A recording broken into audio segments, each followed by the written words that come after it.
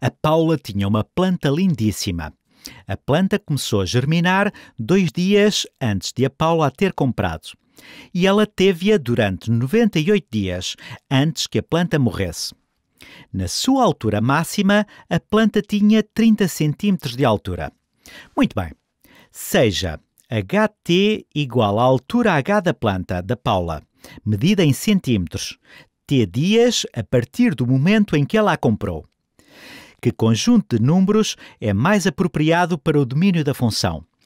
Eles dizem-nos que ou são números inteiros ou são números reais.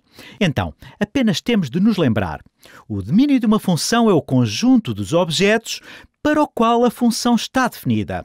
E os objetos, isto aqui é t e representa os dias, e se colocar t, o número de dias na função, h, terei como resultado a altura da planta. Então vamos pensar nisto.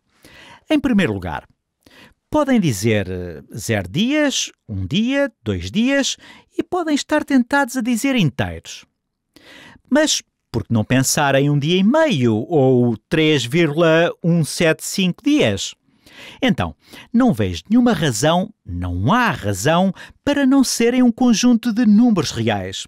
Porque podem pensar em, digamos, uh, no dia 97,99. Então eu diria números reais. E vamos ver. Defino o intervalo do domínio. Então, T, vamos ver.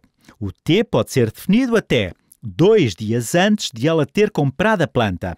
Então diria que t pode ser igual a menos 2, ou qualquer outro valor até aos 98 dias, e t poderia ser igual a menos 2. Isso seria dois dias antes de ela ter comprado a planta, e tão alto como 98. Então vamos pensar nisso. O intervalo iria incluir, iria incluir o menos 2, iria incluir o ponto mais baixo. É por isso que estou a utilizar este parênteses reto, virado para dentro do intervalo. Se quisesse que t fosse maior que, não maior ou igual que, usaria este outro parênteses reto, mas virado para fora do intervalo. Mas, tendo em conta que t poderia ser igual a menos 2, vou usar este parênteses reto virado para dentro. E, na altura final, é 98. E vamos também incluir o 98. Então também vou pôr aqui o parênteses reto virado para dentro do intervalo.